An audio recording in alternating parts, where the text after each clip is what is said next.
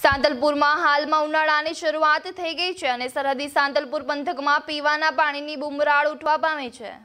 સાંતલપુર હાલમાં ઉનાળાની શરૂઆત થઈ ગઈ છે અને સરહદી સાંતલપુર પંથકમાં પીવાના પાણીની બુમરાળ ઉઠવા પામી છે. જેના માટે દર વર્ષે તંત્ર દ્વારા પાણીની તંગી નિવારવા માટેનું આયોજન કરવામાં આવે છે. પરંતુ આ આયોજન પર કાગળ પર જ રહ્યું હોય તેવું લાગી રહ્યું છે. તેનું ઉત્તમ ઉદાહરણ સાંતલપુરમાં જોવા મળી રહ્યું છે.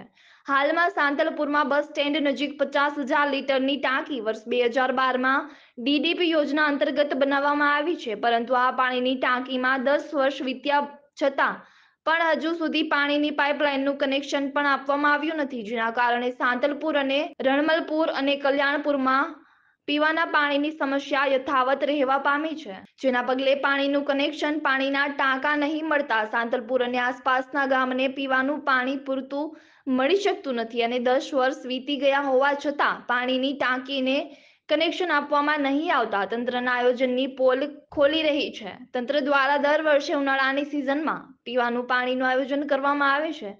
પરંતુ સરહદી વિસ્તારમાં દસ વર્ષ વીત્યા છતાં પણ પાણીનું કનેક્શન આપવામાં ન આવતા લોકોમાં રોષ જોવા મળી રહ્યો છે. બે નાઇન ટીવી ન્યૂઝ સાથે ભગીરથસિંહ જાડેજા સાતલપુર